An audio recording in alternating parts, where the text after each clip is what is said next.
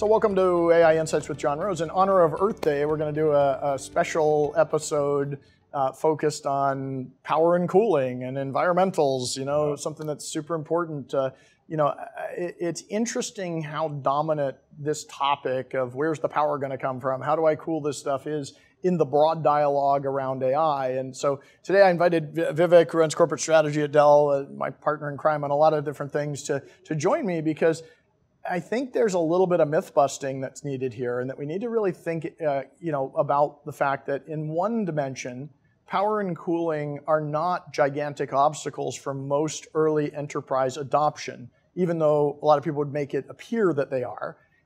On the other hand, long term, we have to have AI architectures and systems that are ultimately trending towards higher degrees of efficiency and are able to navigate the limitations of our power and cooling environments.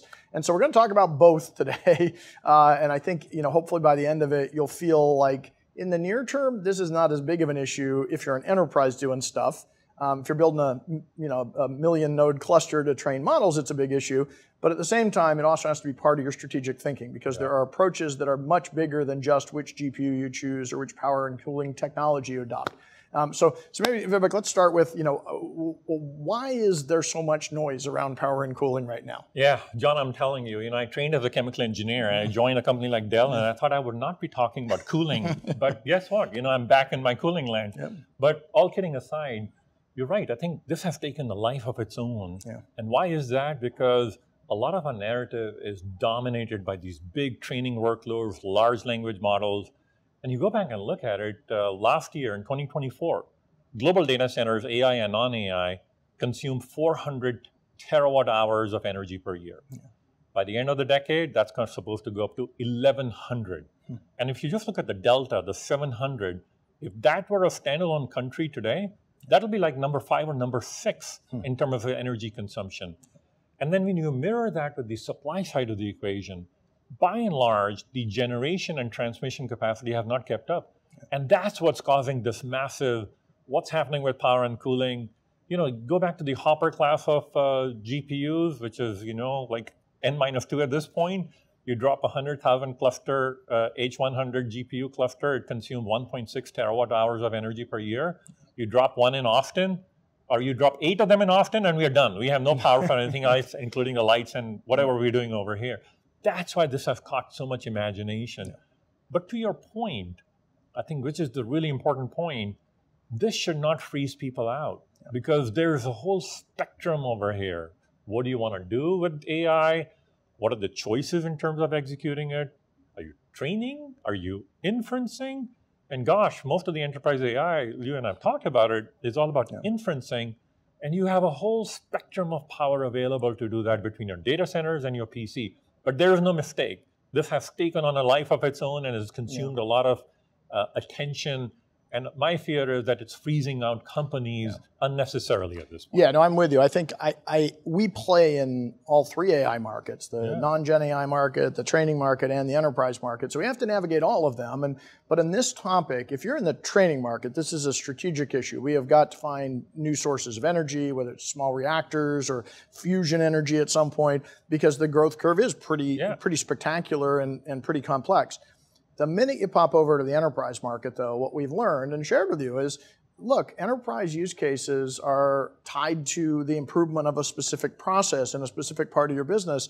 Even if you affect a lot of a lot of people in your organization, the actual specific amount of compute needed to solve something like adding coding assistance to your development environment or improving your services capability are actually reasonably small. It could be literally a handful of GPUs needed to run that one workload. Now, you immediately have a reaction saying, well, oh, that, that seems like enterprise isn't small. Well, there are literally in a company like Dell probably a million processes yeah, that exist, and each and every one of them could be made better with AI but as we've talked about, picking the right ones is critically important. It was important to make sure that we focus our energy on them, our human energy, but it's also important to realize that within the existing power budget you have in your data centers or what's accessible to you, picking the right workloads that will have the biggest impact is also likely going to be the ones that you can do within the envelope without hitting any of these issues. And so, you know, for us, honestly, uh, you know, we think that there's a lot of noise uh, in the system. And that noise is mostly because people are confusing the training and inferencing yeah. worlds.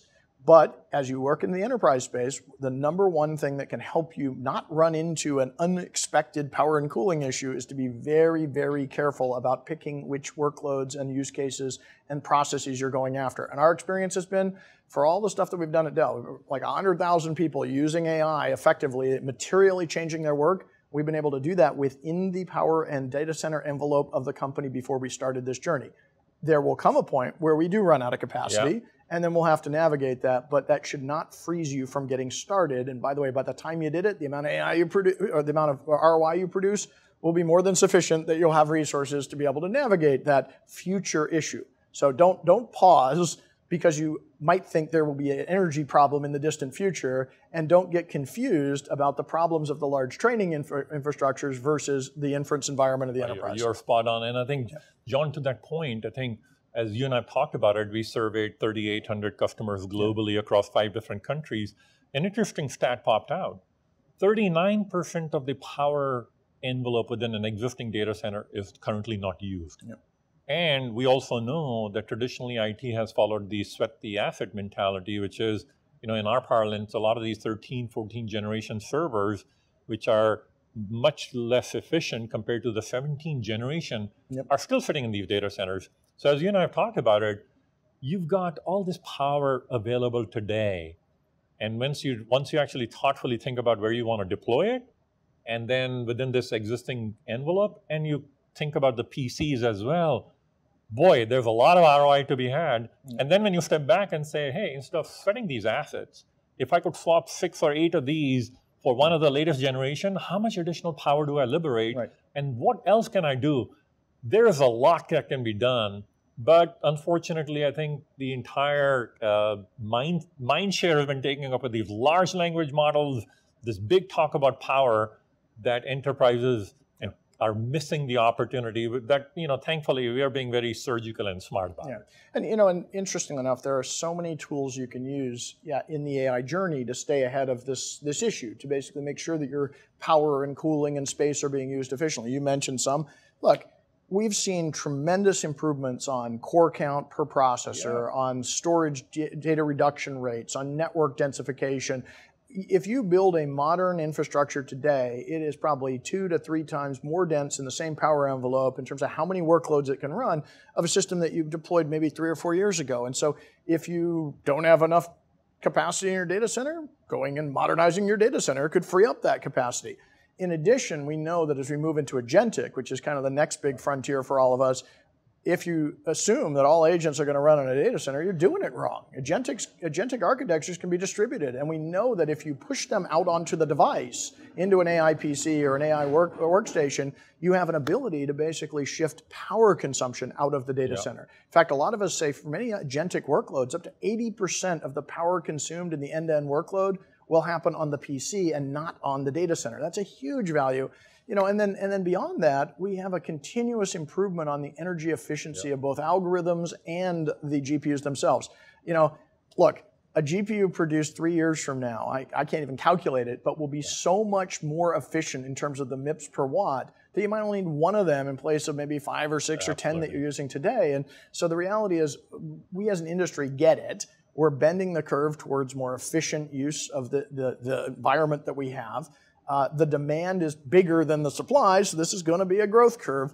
But you as an enterprise should not freeze. You should not pause. You should not think of this as an insurmountable obstacle because it isn't. You have choices. And by the way, the last choice you have is if you can't do it yourself in your own data center, there is this entire industry called co-location that has some of the most efficient and green environments. There are some data center providers in the co-location space get 100% of their energy from renewables. Right. And if you're concerned about that, well, then put your resources there. They're very good at it. So again, on one side, if you're building out the biggest cluster in the world, you have a lot of things to navigate, and we're doing that. On the other side, if you're an enterprise, that is not your world. There are lots of tools, lots of choices, lots of capabilities, and it should not stop you from going after those high priority workloads. No, you're, you're spot on. And I think, John, we talk a lot about this, and you touched on the algorithmic innovation part of it. Yeah. It is mind boggling on a daily basis how much there exists. And we talk about it, right? You look at these small language models through all of these techniques that are coming about, which are far more performant and far lower power yeah. envelope, including many of them moving to the devices so the choices are pretty broad. Yeah. And I think your main message, which I love, is don't stop, don't get frozen out by this, Yep. because this is sort of a head fake, but you have to think through which use cases, where do you best deploy it, and guess what? There's a ton of ROI to be had. So even if you're the one watching the dramatic pace at which all this is evolving, there's a lot of value to be captured in a very short amount of time. And if you're not moving, we know your competitors are, so you better get on with it. So Exactly. I love those messages. Yeah, no, I, I think that's a great, great end state. I mean, look, at the end of the day, you know, we are delivering technology in the real world. The real world is bounded by things like energy, capacity, and environmentals. Hopefully, from this discussion, maybe you learned a few things that you didn't know, and that is that you have tools, you have choices, but more importantly, the big power issues for the enterprise are not now. They might happen in the future, but that shouldn't be an impediment for you to get moving. And fundamentally, you have a lot of tools and more tools coming at you almost every day to make AI more efficient. You know, like I'm a technologist, and you know, every technology when you first create it is sloppy and inefficient and just kind of good enough to to show the prove the point. AI, especially generative AI, is now maturing. And when that happens, we get very creative at the engineering level. We optimize semiconductors, we optimize software, we find ways to make these systems run efficiently. And at the end of the day, every time we do that, we end up with more capacity than we could imagine. And that spawns entirely new impacts that we couldn't imagine either that really change the world. So, you know, it's going to be a going to be a fun uh, fun journey. But again, don't pause. Energy is not the problem you have to deal with right now. It's really about knowing where to target your energy or target your human energy to apply your actual energy to get things into production and, quite frankly, start getting value out of your AI solutions. Absolutely. Absolutely. All right, thanks, Vivek. All right. Thanks a lot. Good to see you.